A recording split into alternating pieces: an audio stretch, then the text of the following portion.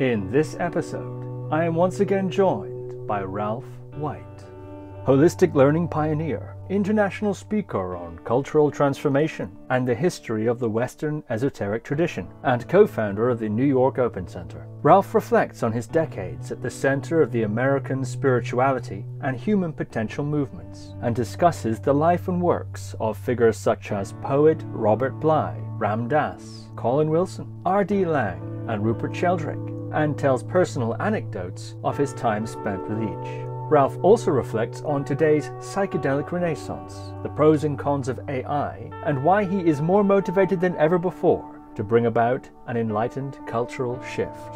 So, without further ado, Ralph White. Ralph White, welcome back to the podcast. Pleasure to be here, Steve. I'm so delighted to be talking with you again. We had two very interesting episodes indeed about your life and adventures, the last one being Mission to Tibet, involving sneaking into Tibet uh, on a secret mission, spotting some kind of UFO. Who knows what it was? I suppose by definition you don't know what it is. And uh, all sorts of wild adventures, uh, escaping bandits and commissars, etc. Quite remarkable episodes we've we've had these last two, and very popular they've been also. And today, you have generously agreed to discuss a something of a rogues gallery Oh, Rogues, you have been at the center of the, I don't know what we could call it, spirituality, um, uh, human flourishing, human potential movement for many, many decades, actually. In your role in the Open Center and uh, similar sorts of places.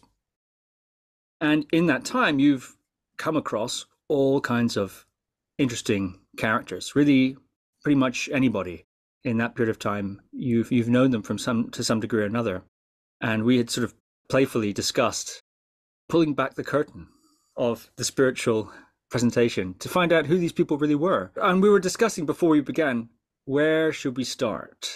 And the person that came to my mind first of all was Robert Bly. Robert Bly, who died in 2021, poet, uh, storyteller, troublemaker, and someone who you knew very well indeed. You write about him here. Though most of his obituaries mention his leadership of the men's movement after the enormous success of his book on the fairy tale of Iron John, it was his deep spiritual attunement and soulfulness that stay with me. He was a vital part of the Open Center's Esoteric Quest conferences in Bohemia, Florence, Andalusia, and elsewhere and would always take the audience to a deeper place with his hypnotic recitations of poems. He liked to make sure that we grasped the subtlety and insight of each line. I met him when I was program director of Omega Institute, which is uh, which is upstate New York. It's about an hour and a half north of New York City in the Hudson Valley. I ran the first two summers there uh, back, you know, the programs uh, that summer of what was that, 80, 81, 82, or 82, 83. Um, yeah, that's how I met him. Uh, I had I asked him to come in and uh, just you know he lived in Minnesota, so he had to fly in um, to really cover the whole world of mythology and fairy tale. That's really what he began to be become well known. He, he was a brilliant storyteller. He would put on masks. He could growl. He had this fierce element. You know, Robert Bly came across to most people as a sort of curmudgeonly individual.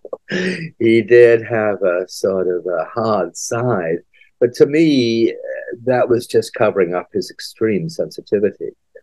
He was an extremely uh, sensitive, deep, brilliant, uh, soulful individual. So I knew him really from the many brilliant uh, poetry readings he did. You know, he single handedly transformed the concept of a poetry reading in America. You know, I remember going to poetry readings, and I mean, some of them were terribly tedious, just people standing up there and people sipping sherry or something. I remember that from university. But Robert Bly made it fully alive. Um, he would really repeat the lines until you really got where the great, it wasn't just his own poetry, but it was the great Sufi poets Rumi Hafez, who he, he was he and Coleman Barks were given an honorary degree in Iran for their work on bringing the great Sufi, Sufi poets back. Um, and Antonio Machado and some of the great Spanish poets too. And he was enormously well versed in the whole world of literature, but never from some you know fancy literary perspective. It was all about soul and authenticity, um, and depth and heart. Uh, he was also a very politically uh, engaged and perceptive person. You know, he, he was a leader in the opposition to the war, the war in Vietnam. Uh, he was a person of really astute political insights. He did not suffer fools gladly on the political front. And um, yeah, he, he was a cultural critic. You know, he wrote a book called The Sibling Society, um, as well as Iron John. These, these, he, he, he was a brilliantly insightful cultural critic, a, a, politi- a courageous political leader, and a man of enormous uh, poetic and spiritual depth and integrity, I would say. As I said in that little piece that you uh, read from there, uh, most of his obituaries did refer to uh, Iron John and the, the, men's work. I personally was never very involved with that. I mean, I, I saw a few presentations on it and I, am supportive of it, but uh, it wasn't what drew me. It was really his work as a great poet and. Um, well, he's one of the great live performers I've ever seen and he would definitely, I can remember one episode in particular in a sort of underground system in Prague. You know, he came to many of the esoteric conferences that I've done. You know, I do these esoteric conferences on um, rediscovering the lost spiritual history of the West. In fact, there's going to be one coming up in September in Iceland. We're going to do the Mysteries of the North Part 3. Maybe we can get some guru Vikings up there, Steve. we love the Mysteries of the North up in Iceland. Uh, so uh, yeah, he. I remember him giving this uh, fabulous reading in some underground chamber in Prague, and I mean, you know, it was just one of those palpably elevated states. Everybody was in an altered state. Everybody was in their heart. Um, nobody was doing any kind of substance that would generate an altered state. It was purely through the power of his uh, of his poetic invocation. So yeah, Robert Bly was a truly great man and uh, you know he could be off-putting to people because he did have this sort of gruff exterior. But uh, he was a sweetheart and um, a lovely lovely uh, and a brilliant man.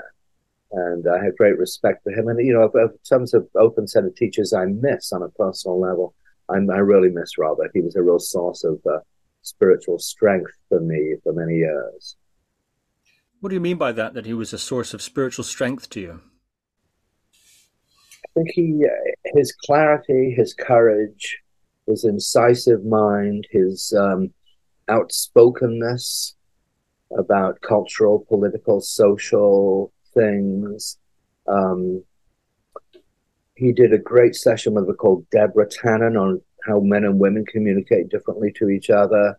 Uh, he just pioneered a lot of things, and he was just always you could always rely on him as a source of rough, insightful integrity. And he never, you know, he just was a person of enormous um, inner strength and integrity. I would say that was that's mainly it. Yeah. From where do you think he got that depth of integrity and insight? No, I just think it's who, who he was. I mean, you know, he was. I think he grew up in Minnesota. I think he had an alcoholic father. You know, he was of Norwegian background, as so many people are up in the Northlands, like Minnesota. Um, I think it was, you know, he was in the Second World War. I think he was in the Merchant uh, Marine. Um, then he was in Harvard. After that, he was a totally brilliant student at Harvard, needless to say, although he never mentioned it to anybody. Um, I don't know. I just think, you know, he knew some of those early poets before the whole holistic spiritual ecological impulse really arose. He dated to a previous time. Um, I think he was just born with it. He he was just a person of real substance. Hmm. You mentioned yeah. Coleman Barks, and often I think Coleman Barks and Robert Bly are thought of in association with each other because of their work on Rumi, as you say, and yeah, yeah um, absolutely could be. Uh, yeah, many of the great mystical poets of both India and uh, and uh, the Islamic world. Yeah. Absolutely. Do you uh, have a particular favorite Bly poem or piece? I don't know the lines well enough to quote them, but I, I would say some of his. What's I've got a book there, The Angels at the Tavern Door. I have a book of his just in my living room over there. That's a that's a quote from Rumi, I think, and uh, you know the that line summarizes a lot of what Robert. The, yes, the angels, the spiritual, the transcendent is totally there, but the tavern door is also right there. And uh, I don't think those angels are discouraging people from going in the tavern and sinking a few glasses of, uh, of wine. Although you can look at wine in uh, lots of different symbolic ways. But that's a phrase that, you know, and what, uh, what do you call it? A rag and bone shop of the heart was another one of his collections. Hmm. He was a very embodied person, you know, mean, it was very much in this world. It wasn't airy fairy transcendence, uh, very conscious, aware, embodied, alive person. With issues, anybody who has an alcoholic father is going to have issues. Yes, indeed. One of my favorites of his is the spiritual athlete. Well, it's a translation of Kabir. You know that one? I don't. Well, you're a, you're a spiritual athlete, aren't you? You're a martial well, artist and this as well as. Uh, well, you know, it actually lampoons that idea. Uh, if I can recall it, it's something like the spiritual athlete often changes the color of his robes, but mine remain grey and loveless. He sits inside the shrine room all day, so that God has to go out and praise the rocks. He drills holes in his ears, and his beard grows enormous and matted. People mistake him for a goat. And he goes into wilderness places. And he strangles his impulses. And he makes himself neither male nor female. He shaves his head, puts his robe into an orange vat, reads the Bhagavad Gita and becomes a terrific talker. Kabir says, Actually, you're going in herds to the country of the land of death bound hand and foot. Yeah, well, that is a great poem. We've all come across people, at least I have. But yeah, I mean, well, that summarizes too a lot of Robert. He wasn't into baloney, you know, highfalutin spiritual. People are self-consciously spiritual. And like you say, he was a he was a grounded, embodied person. So I can, and he was irreverent, definitely irreverent towards uh, the political classes, the various strutting and preening politicians of the day. he had an acid gaze on them. So, yes, I, I think that uh, irreverent and um, insightful and humorous approach that Kabir had, I can see why Bly would have uh, selected that as one of his favorite poems. Yeah. If that uh, was that one of his anthologies, or was, just, was it just a Kabir poem? Uh, it's a Kabir poem. Um, I don't recall which it's which oh. it's from now. Yeah. Well, whatever it was, it was it's of his ilk. Oh, certainly. Kabir. Certainly. Yeah. What name comes next to mind? Is there someone associated with Robert, or perhaps someone even quite different to him? They're in England over there, but you know, I, am thinking about this. I thought of some of the uh, English uh, presenters I have known, although I, I, gather your audience has that you have a big audience in America too. Um, but you know, somebody I, I, in the early days of the Open Center, which is the 80s, the, the second half of the 80s, I took a lot of pleasure in bringing people over from Britain to America who hadn't been in many years. And um, one of them was Colin Wilson, although I gather he's not so well known as he.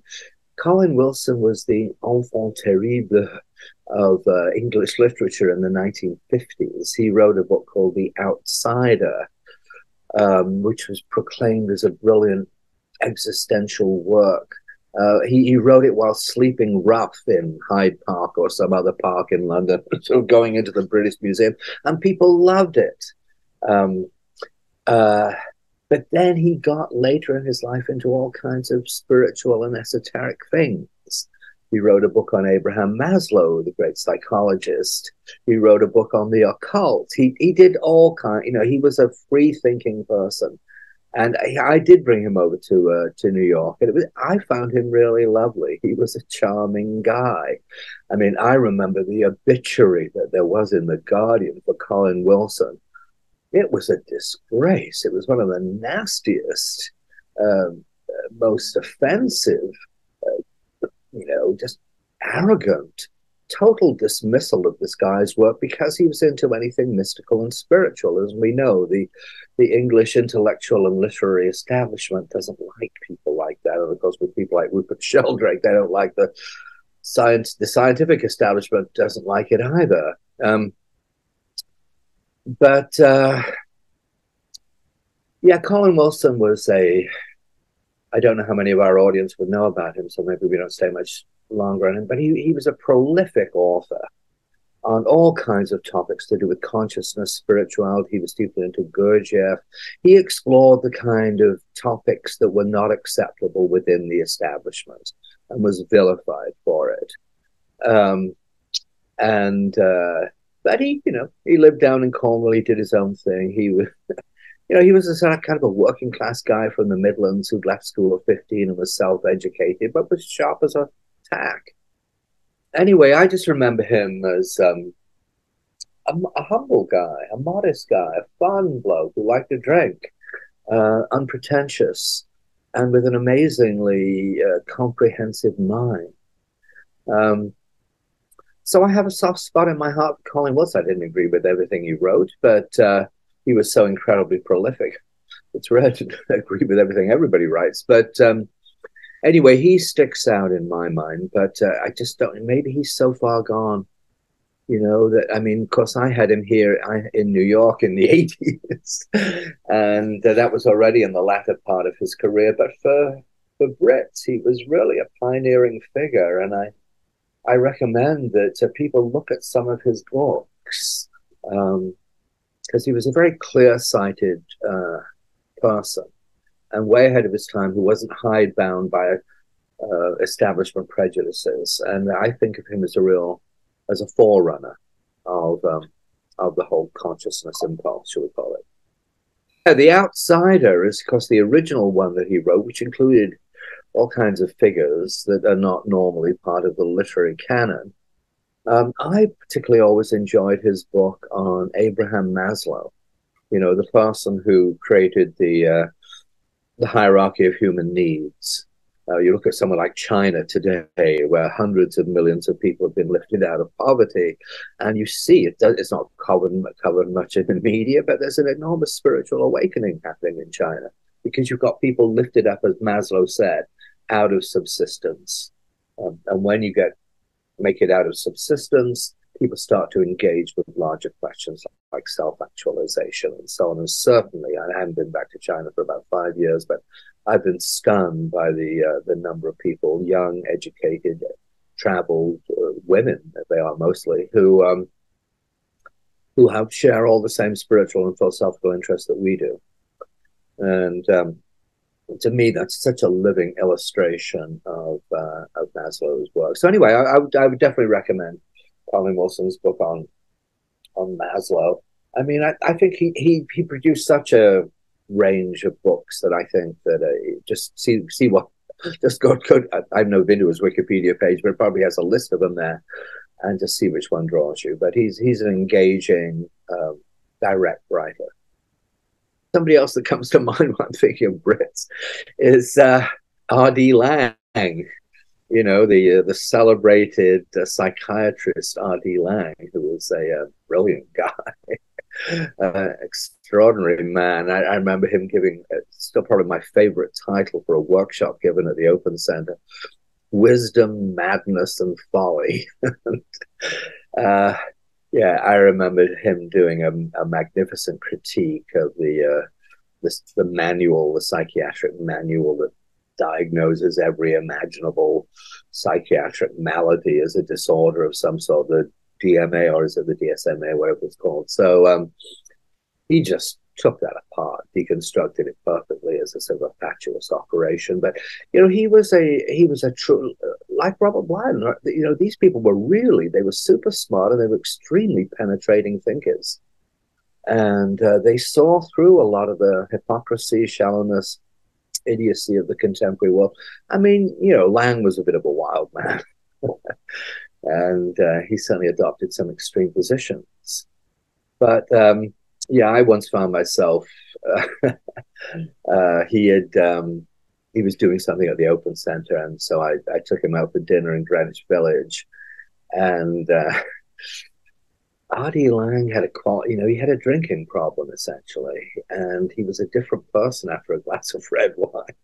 And we met. We were walking the streets of the village. There was a guy who had a little secondhand bookstore down in a basement, and he was clearly, you know, somebody not somebody a bit out of balance psychologically. So I thought, well, look. And so when we came out of the basement, I said to Laing, I tried to find a way to say, well, get his what's Laing's response to meeting somebody who is clearly mentally ill, for want of a better word? And like he took it, after that one glass of red wine, he took it as that I had some kind of critique of that guy, which I didn't. And it's like we got into an argument. I said, "You do not want to be an argument with. Laing." You know, he was super. I mean, there was absolutely nothing you could say that could uh, could change his mind. He was a bit of a you know. Well, he, he, you know, he had some of that fierce, in your face Scottish uh, argumentativeness after he'd had a drink or two. I'll never forget. We healed it. We wound up, you know, but it it wound up. It was actually one of the more tense dinners I've ever had with uh, anybody. But you see, you you know, he was just triggered by that remark I made about this, you know, mentally unbalanced person. But I don't think he would have been if he hadn't had a glass or two of wine. So if if I had ever had dinner, I think that was the last time I had dinner with him. We would have steered clear of the booze. You know, I think he was pretty upfront about having a drinking problem. So uh, yeah, but but he was a brilliant, brilliant man. You know, who took apart psychiatric establishment and saw underneath it all. Do I subscribe to all his theories? No, but um, but I think he was a, a necessary iconoclast and a courageous person. I think all of these guys, you know, Colin Wilson, Robert Bly, R.D. Laing, they were all very courageous. You know, they started their work in the 50s, maybe even earlier in the 40s. you know, in the aftermath of the war, in that grey world of post-war Britain. And um, it must have been very lonely. You know, they were insightful people who could see through the superficiality of post-war consumer society, and uh, they deserve they all deserve a lot of respect, in my opinion. You mentioned the spirit in Britain of skepticism towards esoteric things, spiritual things, however you want to say it, or even too much self improvement, actually, in any sense. Um, no, true. And the uh, the loss of credibility that goes along with an interest in that. If you're in a professional field, you're an academic or something like that. Yeah. I wonder about the difference you've observed. What sort of difference is there a difference in the uh, attitudes in the US? My instinct is that there's something of a greater openness to that, but there is still something a little bit discrediting about too much of an interest in those things, and it seems when that interest is pursued, for example, meditation research, it has to be couched in very, uh, say, neuroscience. The neuroscience of meditation has to be stripped of its mystery, uh, which, of course, isn't necessarily a problem. It's uh, perhaps that's a good thrust of the scientific endeavor, but it seems to be let's see if we can justify these things or correlate these things or validate these things through some sort of physical structure in the brain or some sort of process, hormonal process, or whatever the case may be. Um, I wonder, do you do you see a difference in the British and uh, American ways of approaching this whole area of, of mystery and the esoteric, particularly in academia? See, I'm you know I haven't lived in Britain in many years, so I'm much more familiar with America. Um, but yes, just take. I was just in touch with Rupert Sheldrake, for instance, who was a prime example of this. You know, when he wrote his first books, suggesting there might be something beyond scientific materialism what was it? One of the big magazines, science magazines in Britain, literally said this is a candidate for burning. I mean, that he was heretical. He was not buying into scientific materialism. You know, and the way Rupert has been uh, attacked and vilified is really quite disgusting. Um, and you know, I the Open Center honored Rupert. I remember when we giving my little rap about Rupert. I mean, he's shown a lot of courage. I think you know Rupert has had a lot of courage to face down these kinds of attitudes. And I think for Rupert being able to come to places like the Open Center or elsewhere in California and America, where there's a great deal more receptivity to his more, uh, what should we say, more spiritual perception of the world, has been very nourishing for him.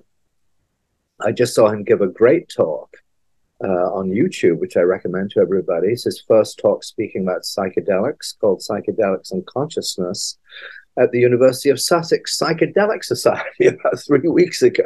I went to the University of Sussex in the 60s, so that's my old alma mater, as they say in America. So I was thrilled to see him there, and I thought he did a great job.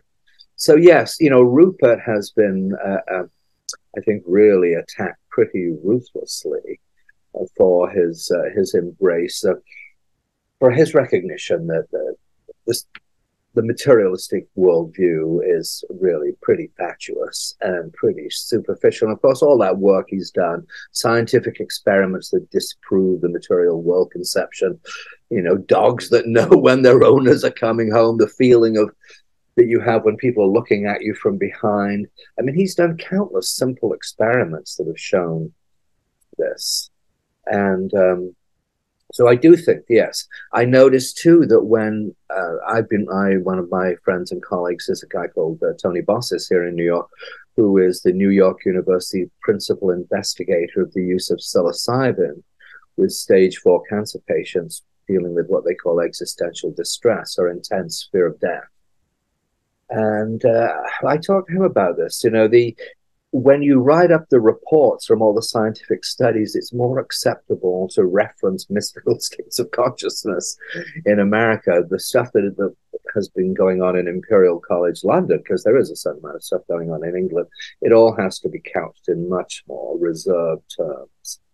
Um, anything mystical in, in the establishment, in the scientific establishment in Britain, seems to call people's credibility into question. So that's why I really honor Rupert. But I think for Rupert, it's been very, I mean, he could speak for himself if I ever had him on the show, but uh, he could, um, I think it's true. I've never discussed this with him, but I think he's got a lot of spiritual strength and, and uh, encouragement from the, the much broader, more receptive audience he receives in America.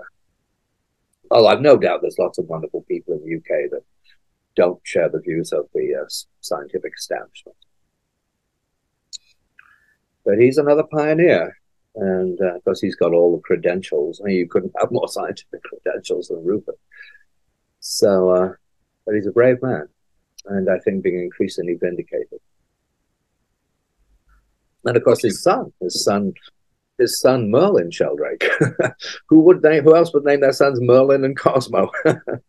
but you know, Merlin, of course, has turned into a leading world expert on the mycelium and on on mushrooms and their extraordinary powers. And not he he honors you know the magical dimension of them, but it's much more than that. They're they're a phenomenon that we need to engage with in reconnecting with the earth. I think one of the other credibility detonators that can happen is is psychedelic use. Now, of course, of a certain generation, pretty difficult to find. I think it was for a long time quite a bit a dirty secret actually in meditation teaching circles and in academic circles. Certainly in the states, it was it was not spoken about and actively denied. And then over you know maybe in the last fifteen years or so, twenty years maybe, it started to come out more. A little bit like the old bodybuilders have started to admit you know their their their Mr. Olympia performances may you know were enhanced by steroids and whatever the case may be, performance enhancing drugs. There, it, it's starting to pop out of those that generation of meditation teachers as if anyone uh, you know didn't realize it, but they preached hard against it and denied it strongly. Many of them. So I think that's an interesting sea change. But anyway, certainly uh, it was something that threatened one's credibility psychedelic use yeah. or and now it's complete. I mean, now there is not a week that goes by without another article on psychedelics in the New York Times or the Guardian or you know some significant work, you know, quality magazine. It's everywhere.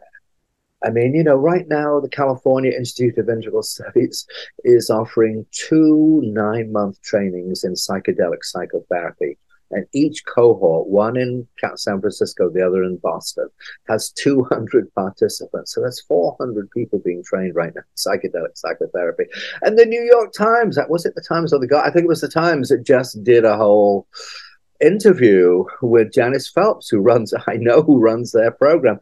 I mean, it's, you know, and of course you can, there's now ketamine therapy available legally on the streets of New York and so on.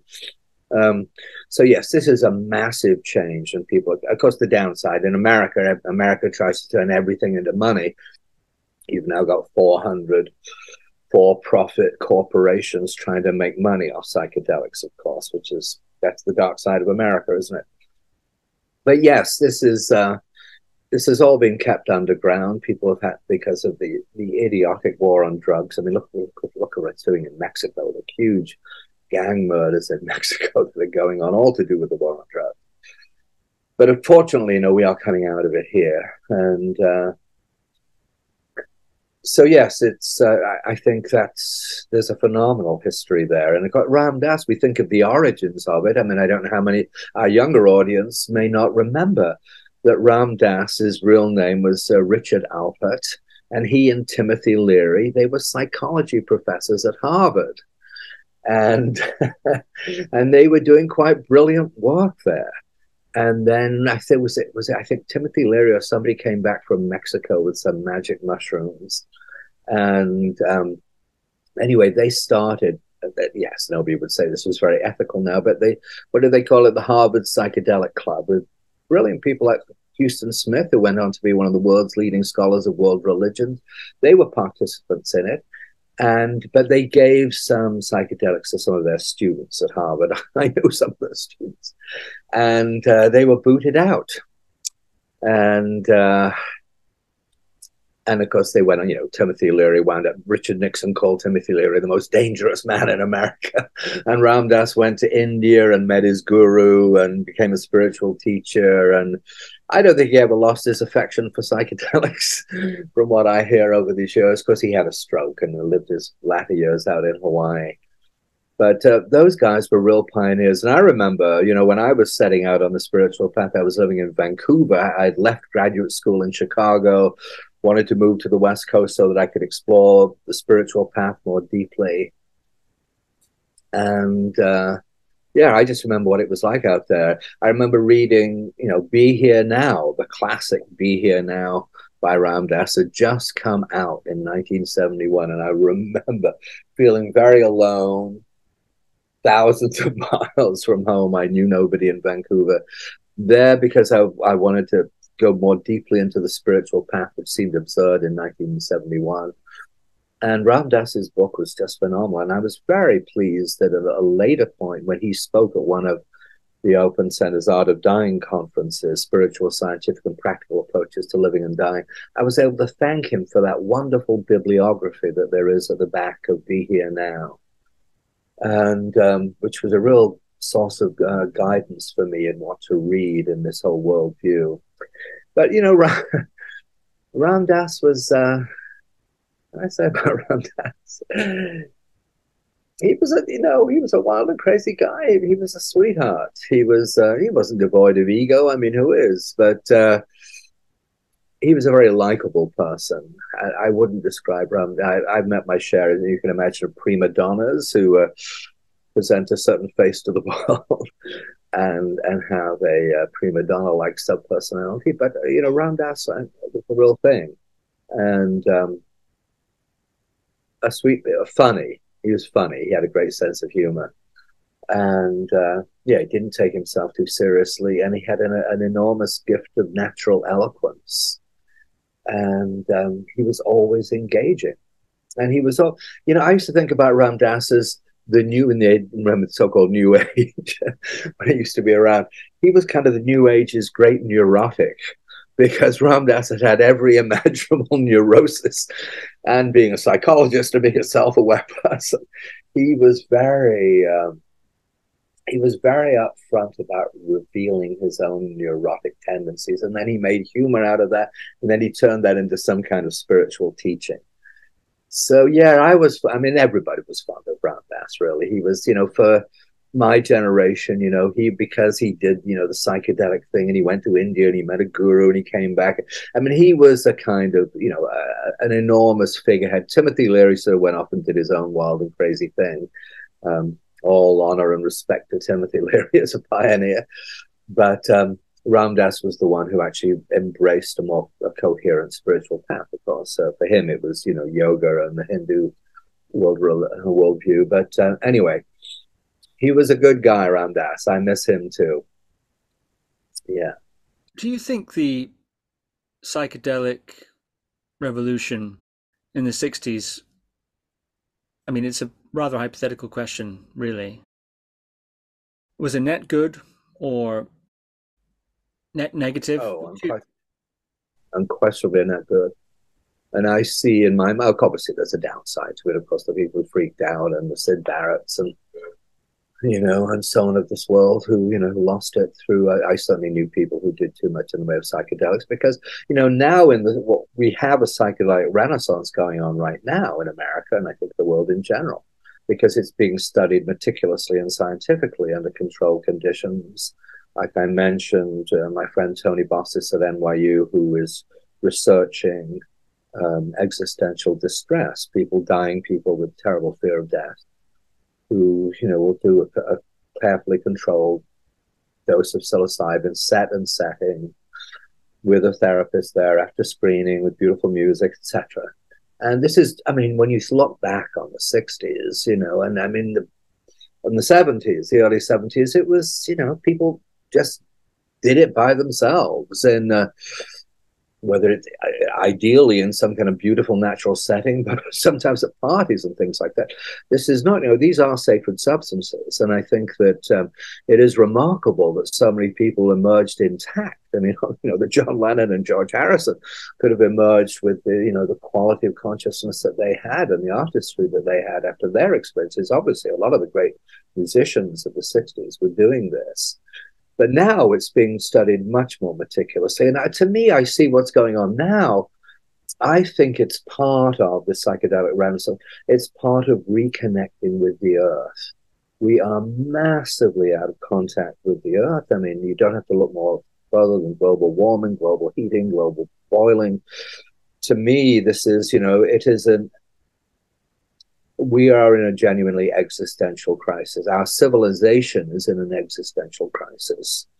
You know, as I look out of my window here, if it wasn't a snowy, misty day, I'd I'd be seeing Wall Street right across the East River. I've got you know Midtown Manhattan to my right here. I mean, it's you know the heart of global capitalism. It's very disturbing to see you know everything going on as usual. It's all just uh, quarterly profits and while we're dealing with this huge existential crisis. So to me, what something like the psychedelic renaissance being done in a responsible way, um, and with a recognition that these substances are sacred substances used by the pre-Columbian cultures uh, of the Western Hemisphere for thousands of years. And if you talk to, say, Mark Plotkin, who's a great uh, anthropologist who spent 30 years in the Amazon speaks the indigenous languages. I mean, something like ayahuasca, it's just one of, he said, 40 or so different psychedelics that the shamans there use, but they use them in a coherent way. So I think I think we're in desperate need of a reconnection to the earth. We're also obvious, obviously in terms of psychiatry, we're in desperate need of something new. You know, the psychiatric medicine cabinet has been pretty bare for a long time with the Prozac and Zoloft and the antidepressants and so on, but that you know they have disturbing side effects. They're not very effective for a lot of people. I'm not saying they're useless. Whereas these things, of course, people come in if they, it's clinical depression or existential distress or addiction to alcohol or tobacco or whatever it may be. And there are amazing results, and it's all being scientifically tabulated now. So, so both in terms of dealing with addictions and in terms of dealing with our loss of spiritual spiritual connection to the earth. And if we don't regain that, you know, I mean, our civilization is going to be history, isn't it? So, it's all hands on deck in terms of waking up our culture to the dire situation we're in. And I think the role of holistic centers, holistic podcasts, you know, is to try, we have to try to educate and wake people up to the fact that there's got to be a profound shift towards a more holistic, ecological, and I would say, for those who are attuned to it, you know, independently, freely spiritual uh, worldview. And if, if that's the way forward, I've always said that this work is essential for a viable and sustainable future for the planet. But how critical is it going to have to get before, you know, how many more wildfires, how many massive icebergs breaking off, etc., before it sinks in? You know, each time there's another huge fire or a massive flood, I think, well, is this what's going to wake people up? And then, you know, a week or two later, it's back to you, back to business as usual, and it's what it's what up and down on the wall on stock market and so on. So yeah, I, I, do think it's a good thing in general. I, it's certainly, you know, my own journey when I was uh, 20 years old, it was certainly it opened spiritual doors for me. And so I, I would know there was some, nothing in the culture around me apart from music and the Beatles and Pink Floyd and all the rest of it that was speaking for that. And, and you know, in the early 70s, it was the musicians, the rock musicians, who were speaking more about spiritual experience than, than others. Um, but yeah, it was certainly very helpful to me. And I, am a, it, it's a question of using it in the right way as a sacred substance. I've heard the argument that the psychedelic revolution or the, the revolution in the 60s in general benefited from or was enabled by a stable, some would say overly rigid, staid, stuck cultural position, but nonetheless quite a coherent one. So the table had four legs and a pretty solid top. So, in a sense, the revolution had something to tip over a structure to redefine or to break free from, to be in opposition to somehow or to react to. And now, I don't know if you, I, I'm curious if you see it this way. With culture being more fragmented, perhaps, less coherent, if that's the case, what implications does that have for the emerging psycho, psychedelic renaissance? And then a bit related to that, another criticism I, I hear of this idea of waking up the culture reconnecting to the earth, etc., is that it's great if everyone does that. But if just some people do it, then they themselves become at the mercy of other people who are not that way. So, for example, one particular culture or country achieves some sort of tipping point of awakening or something like that. And then how do they defend themselves against those in other parts of the world, their neighbors or distant neighbors, who may not share that same sense of whatever it is, and who might um, choose to take advantage of it uh, militarily in some sort of a sense? So, I suppose uh, there's there are two questions there really, to do with the differences in the cultural uh, cultural base from which the psychedelic revolution or an awakening kind of revolution is coming in the 60s and now, and any, any comparisons you have there that might be of interest, but also how to how that relates to, I suppose, geopolitics. Well, yeah, I mean, we certainly need all societies to be moving to a more enlightened state. But you know, you can certainly there are dark forces in the world. I was just listening to a podcast about the amazingly brilliant Islamic culture uh, in uh, Afghanistan and Central Asia, Samarkand and Bukhara in the 13th century. Um, and then along came the Mongols. You know, along came Genghis Khan, completely tore through it all, devastated. And I mean, this was the time of Rumi. You know, Rumi had to go west. I mean, Rumi was able to maintain his amazing spiritual consciousness, even in the midst of this horrendous destruction by the Mongols. But yeah, I mean, look at what just happened in Ukraine. Putin, with his deranged worldview, attacking totally a non aggressive country like Ukraine. Yeah, I mean, you've got to, I mean, it's one of the reasons why I live in America. You know, America's got this power in the world. And if America can shift in these directions, it can be hugely influential. But you have a small state that uh, might have a more pacifist inclination, there could be trouble. But look at Costa Rica. You know, Costa Rica is often taken as an example of Latin America's most enlightened culture. There was they got rid of the army years ago. There are more teachers than there are police. They've been environmental pioneers. Um, they have some of the greatest biodiversity. They haven't been attacked because they're not they're not next to Russia or something like that. But they have taken a very enlightened path, and they have prospered. Whereas look at you know look, look at Mexico and uh, you know countless other societies. Uh, Guatemala went through so many horrendous civil war and mass murders and so on.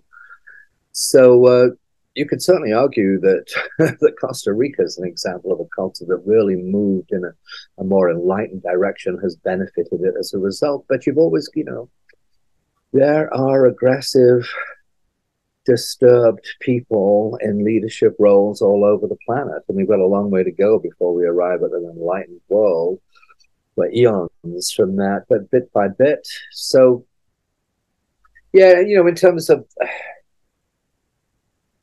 you mean the culture, say back in the 50s and 60s, uh, there was a more accepted set of values. You mean the sort of traditional values of uh, family and work and job and uh, all that kind of thing, and um, respect for one's elders. And of course, in Britain, the horrendous class system, which I always find apart from the weather, the most disturbing thing about Britain. And um, I don't know about that. You know, I, am not sure if, if we are, there's more danger of fragmentation. I mean, look here in America, we, what we've got the we, we've got the tremendous rise of the religious right. You know, eighty percent of the Trump supporters are evangelicals, many of whom believe that uh, he is God's chosen and appointed one. People should, our, our reviewers should re- research the New Apostolic Reformation, which is a whole evangelical movement intent upon um, spiritual warfare and the gaining of power. The godly Christians, as they call it, and Johnson, uh, Speaker Johnson, who's now the Speaker of the House, one of the most powerful political figures in, in America, is an out and out dominionist. And they believe that God's decree is that godly Christians should control all the major expressions of society education, business, culture, etc. They call it the Seven Mountains. And they're serious about it. Some they really believe this is a spiritual battle. And if you ever watch this unfortunate woman, Paula White. I'm, I'm sorry she and I share the same surname. I hope, I hope we're not related. Uh, she's a sort of glamorous blonde who's married, to a rock star, but she does these weird invocations for Trump right before the January the 6th thing, these strange claiming to be invoking angels and you know, the, the new apostolic reformation, you know, these people think that they're prophets, prophets and apostles who are articulating the word of God and that Donald Trump is their is their chosen one. So, you know, we have these very disturbing elements now. That's a, that's a way.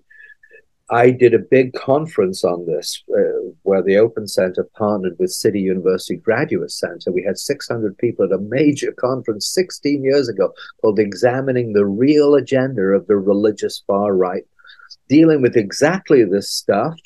And the New York Times ignored it. We couldn't get the mainstream media to pay attention to it. And now it's everywhere.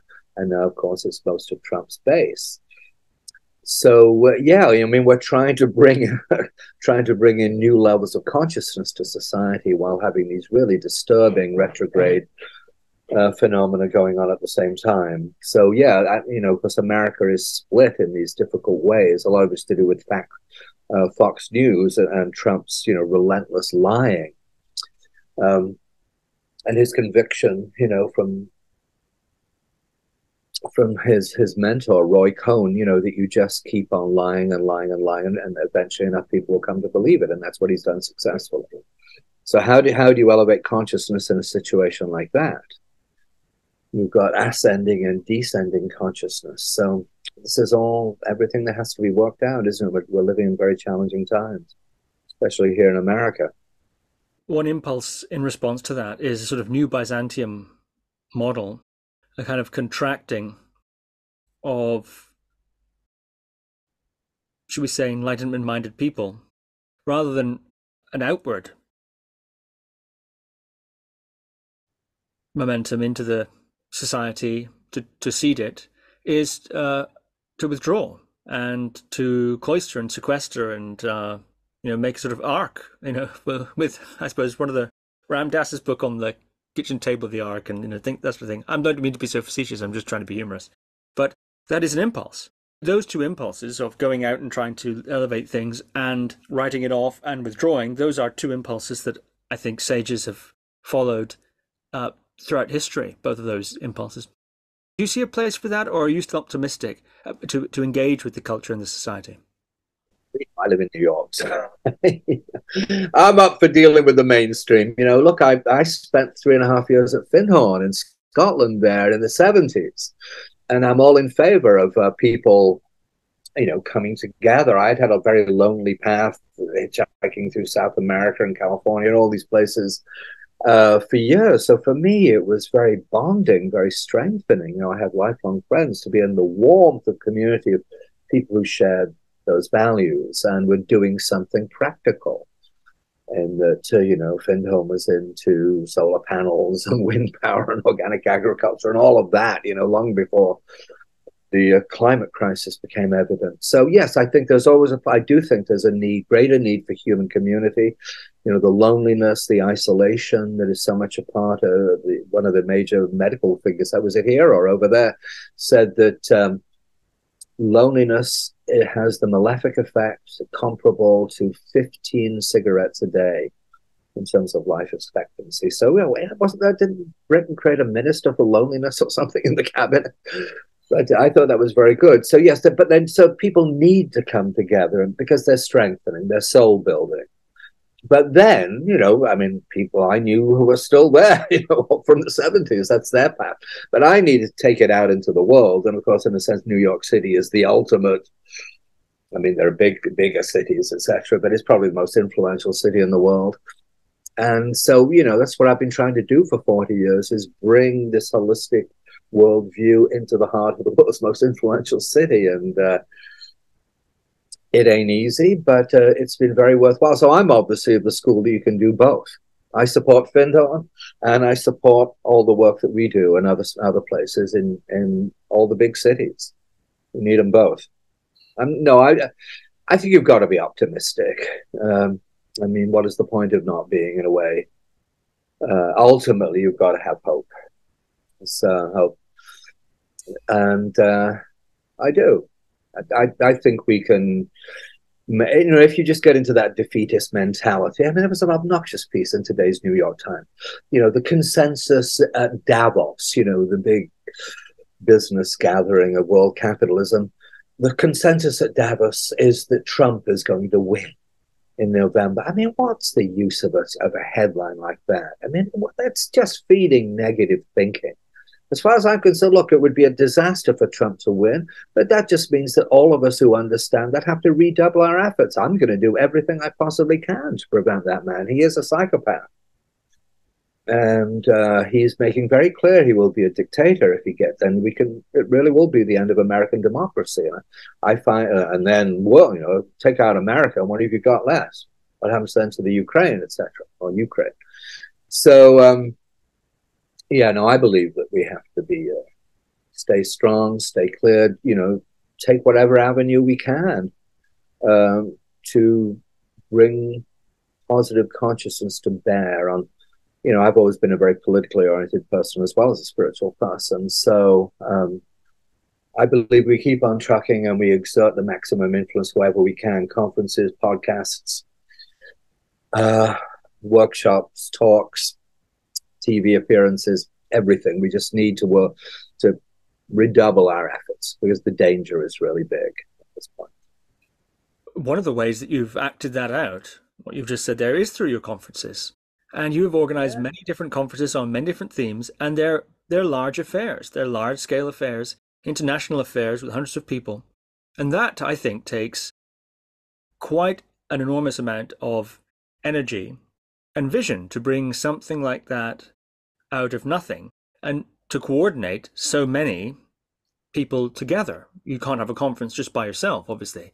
And to get the speakers and to, to have the the marketing and the whole thing to bring that together at the scale you've done is very significant indeed. I wonder if you have any reflections on your work as a conference um, organizer, a conference creator. Well, I was just in touch with somebody uh, yesterday or last week about um, Jerry Mander and the International Forum on Globalization. Is that a name that means anything to you, Steve? It's a great name. It's his real name, Jerry Mander. But uh, he just died last year, and he was an outstanding man. He he wrote four arguments for the elimination of television in the absence of the sacred. He was, and he pulled together the uh, the forum, the International Forum on Globalization, and worked the Open Center working with him back in 2001. We did a major conference with probably 1,500 people um, called Technology and Globalization A Marriage Made in Heaven or Hell.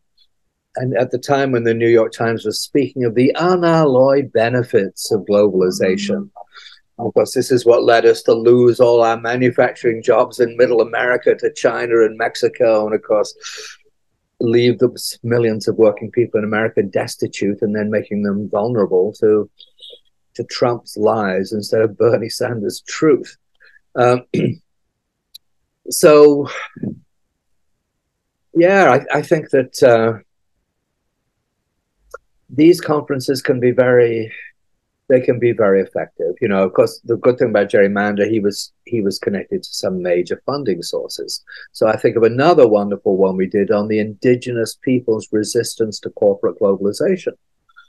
So I, for me, probably the greatest. I've, I've, introduced hundreds, if not thousands, of people at events in my life, but probably the greatest honor I ever had was at the beginning of that because it was indigenous people gathered from all over the planet and Jerry's fundraising contacts meant we could bring in, you know, the Inuit from the Arctic, the Maasai from Africa, the Aboriginal people from Australia, not to mention every kind of North and South Native American person. But I mean, there was a great drum that they set up on the stage at Cooper Union, this historic hall in New York where Lincoln debated uh, during his presidential years. Um, they set up this huge drum, and four young Native American guys were beating out the drums and uttering these great cries. And because I was the host, you know, traditionally in indigenous culture, the host welcomes everybody. So I wound up welcoming all of the, the whole indigenous world, you know, the, well, the representatives of the indigenous world. And because, you know, most of the last um, pure resources, water and forests and so on, the vast majority of it is in the hands of indigenous people. And they are united, whether they're tribal leaders from the heart of the Amazon or wherever it is, they are united. This is a spiritual responsibility we have to protect this world. And it was very impressive. So, and then we did another one and uh, with called Technology and Globalization. No, sorry, that was the other one. It was um, Techno Utopia. Was on the kind of attitudes that come out of Silicon Valley. In fact, they're going to do an event in San Francisco next year honoring Jerry Mander because he did. Because this is the place that San Francisco. That's where you want to do a conference on on techno utopia. So I do think that you know they have an impact. These of these conferences. I mean, whether it's five hundred or a thousand or even just hundred people. We did the first conference on um, on the destruction of the rainforests back in 1985 with the Rainforest Alliance. We did the first conference on socially responsible investing, you know, which is now pretty widespread, although it goes under a different name, ESG. So yeah, I think this is what we do. You know, should we chip away? I mean, it, it, does it have the same impact as network television? No, but um, you know, maybe we, you can get all kinds of metaphors, can't you? The hundredth monkey, I don't know about that, but you can say it's a homeopathic dose. You know, we doing this consciousness work, we're like a little homeopathic dose in our culture. Of course, then the scientific establishment will totally dismiss homeopathy as a load of old nonsense. Um, what is it that turns a culture around? I mean, it's a gradual shift in consciousness, isn't it? And uh, and there are deeper forces at work. There are spiritual forces at work. People, some people would uh, suggest it's not just material forces. So it's that whole larger work of shifting consciousness, shifting values, shifting vision. And uh, I don't think we can just leave, you know, you go off and do your own thing and you have your own, like the Essenes or something like that, you know, 2,000 years ago uh, in, uh, in Palestine. Um, you just do what you can. And, you know, whatever, whatever your path is, you just follow it and you do it to the best of your ability. And, you know, I look back on 40 years of New York and probably we have, I don't know, I've, nobody's figured it out exactly, but maybe 400,000 people came through the open center. Uh, it's nothing compared to the, you know, the 600 mil, the 16 million people in Greater New York, not to mention the 300 million in America. But it has an impact because a lot of those people, you know, they are alert, aware, conscious, creative people who bring it into their work, whether, whether they're architects, psychotherapists, teachers, housewives, you know, whatever they are. Uh, people bring this work in. And, you know, the work I've been doing for years with the Western esoteric tradition, I mentioned those esoteric quests. I mean, it used to be 30 years ago, all of that was considered totally weird, crazy little cults, the Rosicrucians who, you know, built a bunch of uh, something that looks like ancient Egypt in San Jose, California, ads in the back of Popular Mechanics magazine. Since then, since we've started doing that, um, the Western esoteric tradition has become one of the hottest elements within the humanities. It's like we are rediscovering uh, a beautiful and wonderful part of our own Western culture that has been marginalized, whether it was the Inquisition, the church, the scientific establishment, innumerable wars. You know, you've got to engage in an active spiritual excavation to bring this all up to the surface again.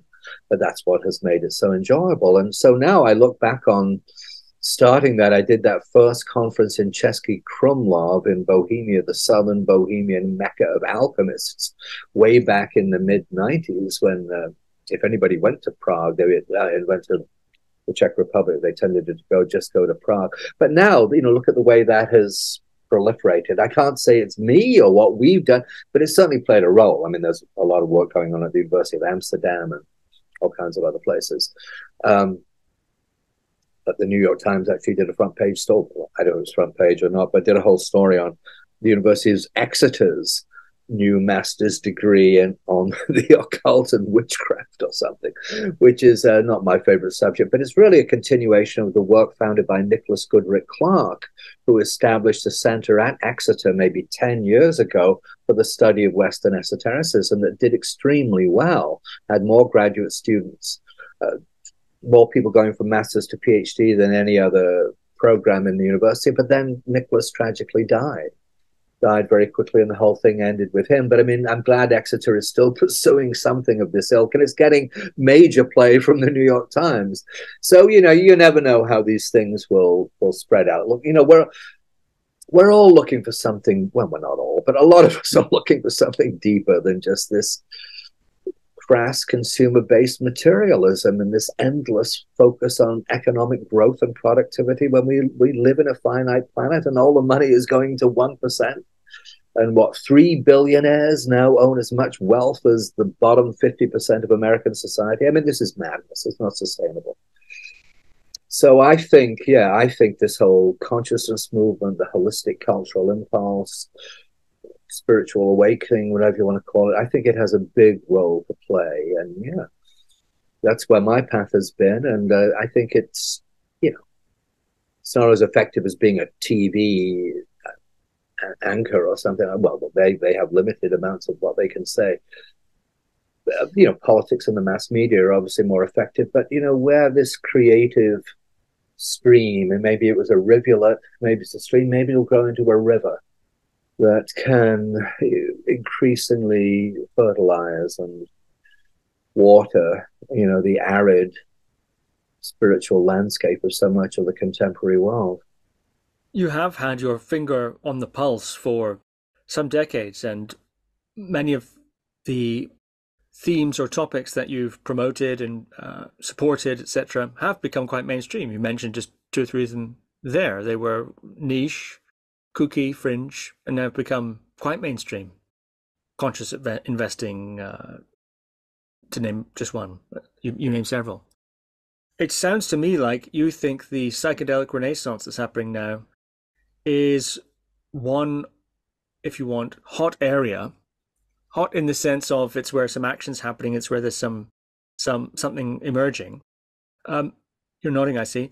Are there any other areas that you you intuit or have observed are, if you want, trends in the making or something that may be breaking out? know, right now, what's know, well, of course, you know, we've gone through the huge mindfulness thing, haven't we? You know, mindfulness, mindfulness is a cure for everything under the sun. I think it's gone, that's gone a little too far. We're sort of past that. I mean, I'm a fan of mindfulness, but uh, it's been presented as a panacea for everything under the sun, whether it's corporate productivity or wherever it is. Um,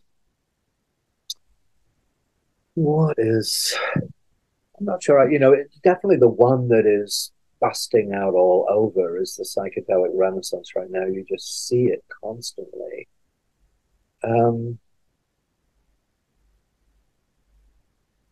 I, I, there's nothing coming to mind for me in, in some other major areas that. Uh, but what you know, just you were saying that there was a phrase that came to mind that I remember, which I remember E.F. Schumacher, you know, the the great author of uh, Small is Beautiful, a true pioneering economist, who was also one of the funniest lecturers. That guy, I remember hearing him in 1976, where he gave a presentation on the state of the world, and he gave a devastating portrait of what was happening on the planet, and he had everybody rolling in the aisles. I mean, he was incredibly funny. Now, somebody like that, that's an outstanding human being. I really liked E.F. Uh, E.F. Schumacher, but he used to say, "Look, people call me a crank." because he was way ahead of the time. And he said, "But you know what? We need a crank to cause a revolution." to get so that's I think that's the answer. So-called cranks, yes, call me a crank if you like, but cranks create revolutions. So, um, I'm, yeah, I'm not sure. Uh, nothing else is coming to mind in, in terms of um, some major fresh element in the consciousness scene that has comparable charisma right now to the whole psychedelic renaissance. I think that's the one because I'm just seeing it written up everywhere. Um, but uh, I'll probably think of three after we conclude our, uh, our conversation. What about AI? Well, you know, I know very little about AI. It's, I see the dangers of it. I see the benefits of it. I mean, obviously, you know, highly developed. I know I've met people who are doing work on uh, the connection between mindfulness and AI, and I'm I'm glad that people are bring trying to bring consciousness into that world. Obviously, brilliant machine learning with far greater information at its disposal than you or I or any any kind of any brilliant human being, more than we could ever have. It's going to have a massive capacity for processing intelligence, and of course it starts being used on the battlefield or with smart weapons and all that. You know, we're already seeing with the drones. It just it just seems to be. I, am certainly no authority on it. I, know very little about it really, other than it seems extremely dangerous. It seems like it should be regulated. I know there are efforts being made to regulate it right now then there's always the danger of some rogue operator getting hold of it and using it for some dire purposes. And it's to me, it, it looks like it's like nuclear weapons. It's a, it's another instance of humanity having more knowledge than it does wisdom, and that and that's why we need. Uh, you know, we need this work that you and I and thousands of others are doing to try to return some kind of wisdom to our world. So it's not just runaway technology and knowledge in pursuit of profit for a tiny percentage of the population. I mean, people will look back on this era as an absolutely deranged worldview with endless consumer production and all going to a minute fragment of the population who are then misusing it to push their political agenda. So, um, yeah, these are difficult times, but we need it's all hands on deck, isn't it? And uh, I appreciate what you do with your podcasts, and I do my thing, and I'm sure many of our listeners are, wherever they are, are you know, trying to bring consciousness into their into their environment. And um, so, whether you're a in a small town in, you know, in the north of England or uh, or a little hamlet in upstate New York. You know, you never know what will come out of these places. Omega Institute came out of a hamlet in upstate New York, actually, and, and now it's the kind of East Coast Esalen. So you you know you never know what will emerge when there's vision, when there's passion, when there's intelligence, when there's creativity, and where's the you know that I mean I I think I talked about it in one of our previous conversations but I, I, hitchhiked to Machu Picchu from Canada when I was 23. You know, I was up in the mountains of Peru and Bolivia for months. And then I came back down again to sea level and I saw industrial civilization with fresh eyes. Um, that's what that kind of experience gives you. And it, even though it was only a fairly small city in Peru, Arequipa, uh, I saw, I had one of those moments of intuitive clarity where I saw that Western industrial civilization is both destroying the biosphere or wrecking the biosphere and wrecking our own psyches as well, both. And that we have to build an alternative to it. And really, that's what my life has been about trying to create a more holistic and ecological and spiritual alternative to this dead end worldview that is trashing the planet. And like I say, you know, we're in an existential crisis here with global heating. And what is our role as people who are not necessarily directly politically involved, though good luck to the people who are active politicians. Um, but what can we all do to turn the society away from this highway to hell? Who was it? Was it ACDC or somebody who it's not my kind of music, but there was I know that song Highway to Hell, and uh, that does seem the most apt metaphor for what we're on right now, and it, it is as that film Don't Look Up or what will it take for people to wake up to realize that we need to shift the direction away from what's producing global warming? But it's not just where do we go? What is the positive direction that we go in? And that's where I think our work comes in in giving people a model and a set of values. Uh, you know, a reconnection to a sacred earth, a reconnection to the inner spirit within uh, each of us and a focus on uh, on well-being and uh, community and uh, a flourishing culture, and not this relentless race for uh, endless money. And of course, that's that's the shadow side of America par excellence. America's filled with you live, you know, you live over in Britain, you think, oh, Americans are idiots. How could they be electing these people? Um, Although, uh, of course, people used to say the Brits used to pride themselves on being smarter than uh, Americans, and then Brexit came along. that was the end of that. But um, you know, there's there's a there's a lot of wonderful people out there, and uh, I have a lot of faith in all the good work that they're doing. And you never know who you're going to talk to next, or who'll be in the next workshop or who'll listen to the next podcast who it might influence. And we just keep on tracking and we don't sink into despair. That doesn't help anybody or hopelessness or, oh, the people at Davos all think that Trump's going to be elected. I don't think that way. That's just going to become a self fulfilling prophecy. You know, you we do everything we can to turn the world in the right direction, and uh, what else can we do? So I want to thank you for what you do, Steve. I've really enjoyed our conversations, and uh, you know, the UK has a special place in my heart, always will. And uh, I've been fun to talk to you. Yes, it has. And as for a rogues gallery, we didn't get through many of them. We might have to do this again in six months or so. And and I know you've got a long yeah, list. Well, people like you know, Sir George Trevelyan, who was the founder uh-huh. of the Wrekin and uh, he was an outstanding guy. He he looked like a Sir George. he never wanted anybody to call him Sir, but he's the only person I would ever have been willing to call Sir. uh, and uh, you know, I've mentioned E.F. Schumacher, Sir George. I mean, these these were some outstanding. Sir George Trevelyan was a real pioneer of the whole consciousness spiritual work in the UK and a really great man. One of the most uh, brilliant orators. That man had memorized thousands of poems. The living word, he called it. And he, I mean, his his presentations were just filled with living, vibrant poetry. He was all heart. He was a, a truly great guy. And uh, yeah, so the, yes, we may have to do it again, Steve. There's, there's a lot of people we didn't get to. Right. Well, let's hope yeah. we do that. Ralph White, thank you okay. very much. Thank you. All the best. Have a lovely evening. Okay. Bye bye then. Thank you for listening to another Guru Viking podcast. For more interviews like these, as well as articles, videos, and guided meditations, visit www.guruviking.com.